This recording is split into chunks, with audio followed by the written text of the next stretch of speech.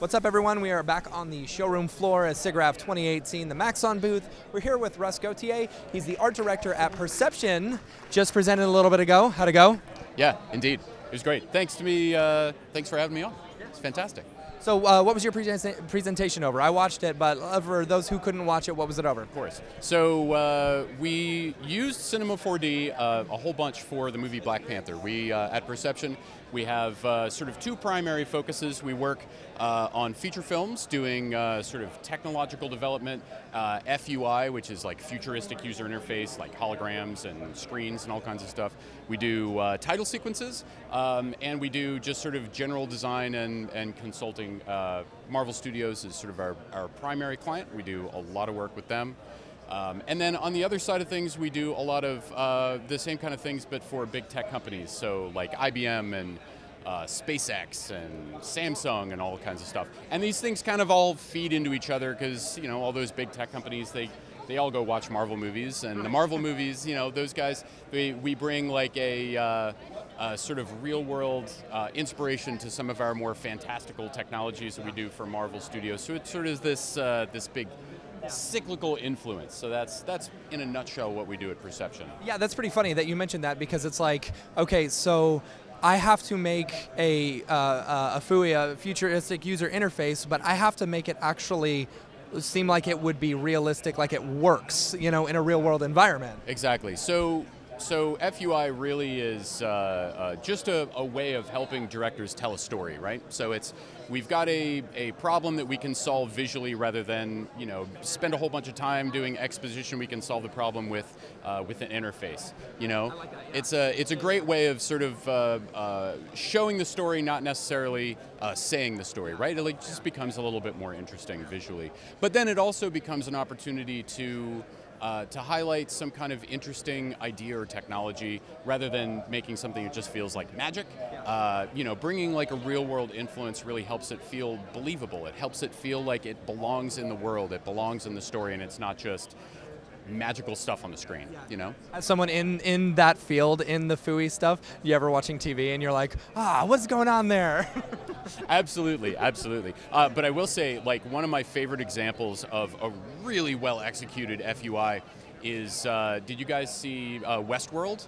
Yes. First season of Westworld? Yes. There was a moment where like she's talking and you're seeing like this sort of decision tree of things that she oh, yeah, yeah, yeah. It was like in the, the operating room and stuff like yes. that. Yeah, and she like kind of like freaks out and stuff. Oh, that was so good. Unbelievable. And that to me is such a fantastic execution of FUI uh, and what FUI can do for a story, for a development, like it shows so many layers of, uh, of what's going on underneath uh, in these machines' minds without having to like go into a whole bunch of exposition about it. Like you just show it in a simple, clean visual and it's beautiful. So uh, this is something. Um, how much how much actual R and D do you guys put into some of this stuff? Like you showed off the the the sand that you guys did in Black Panther, and like kind of like how you guys created it, and it's very cool because like uh, uh, the way you did it, like when you were saying sand, I was like, okay, sand on the ground. We're gonna make a beach scene. We're gonna make something pretty, you know, on the beach, you know. But no, you actually took a character, you took a Velociraptor, and you made it look like it was made out of sand, you know, like. And then the the the way you did it, it's like, oh, uh, you can knock it out. If you weren't explaining it, you could probably do it in five minutes. Yep. You know.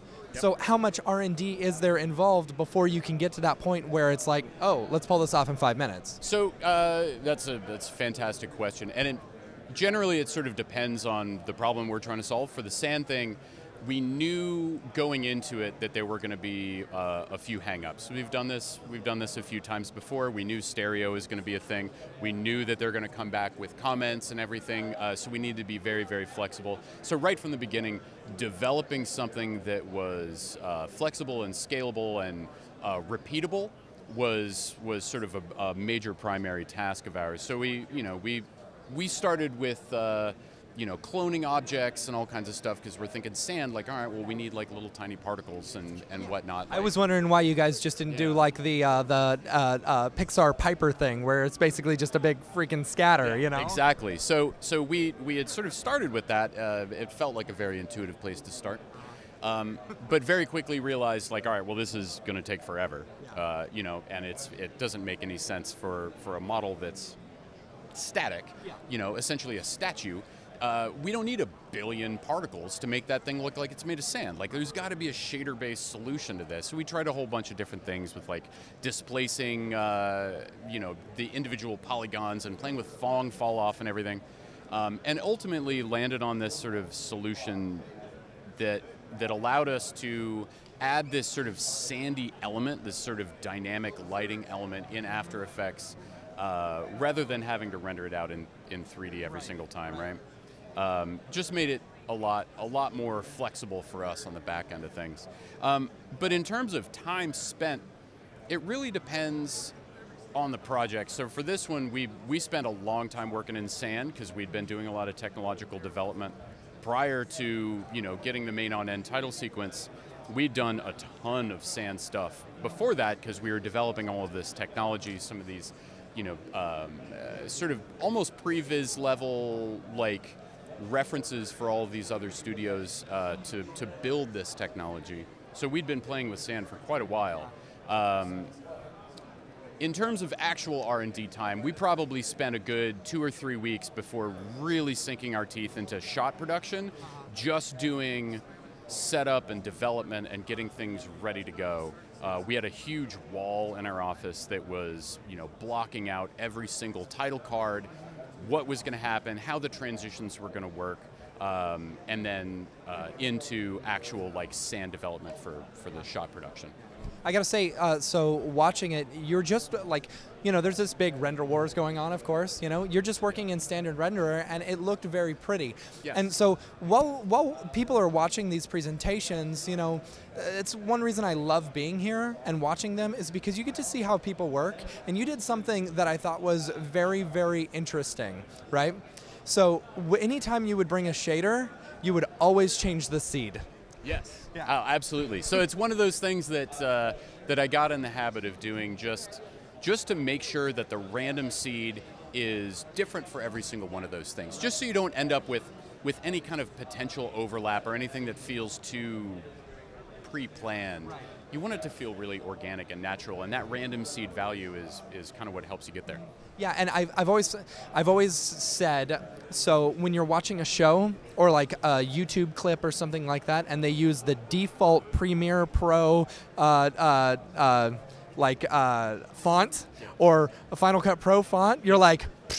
"Pfft, Amateurs, right? it's that little bit of it's it's it's like the little bit of details. Like, don't use the just seed that comes with it. You know, change it up. Make sure add it a little bit different, and that adds so much more to it. It does. It really does. Uh, adding that little bit of uh, a little bit of randomness, a little bit of change, uh, can really go a long way for your end product. Absolutely. Awesome. Where can people find you online? Uh, so you can find me on Twitter. Uh, I'm at robot astronaut underscore on Twitter. Follow Perception, which is uh, at exp underscore perception. And then uh, our website is experienceperception.com. And they can find the uh, the video that kind of is based off of your. Absolutely, we have a we have a monster case study up there uh, with every single element of the Wakandan technology that we worked on, the prologue that we did uh, development for, and then our main on end title sequence. All that stuff is up there. There's even a uh, there's a 12 minute video of Johnny, our creative director, uh, explaining every single aspect of the technology that we worked on. Uh, if you want to listen to that, up there as well. You guys make great work. Thank you so much for being here. Thank you so much. Really Awesome. appreciate it, man. Cool. Stick around for more from the showroom floor of SIGGRAPH 2018. Thank you very much.